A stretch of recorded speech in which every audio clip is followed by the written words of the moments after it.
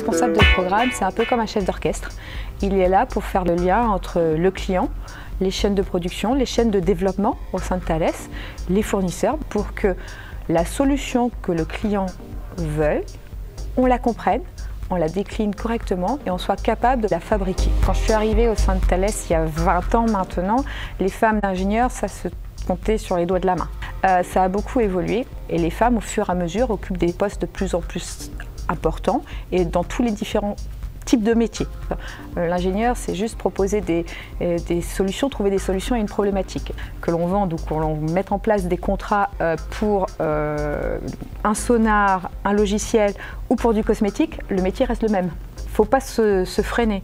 Il faut juste dire que, ok, le produit en soi peut être de la technicité, et à nous de trouver le métier autour de cette technicité qui nous intéresse et qui n'est pas forcément purement du développement. Le fait d'avoir euh, une mixité dans les équipes, que ce soit homme, femme ou quelle que soit la mixité, apporte ce plus de se dire finalement les idées tournent, s'échangent différemment et ensemble on construit euh, le produit, la solution de demain. Ne vous sous-évaluez pas, vous êtes aussi compétente que n'importe quel garçon.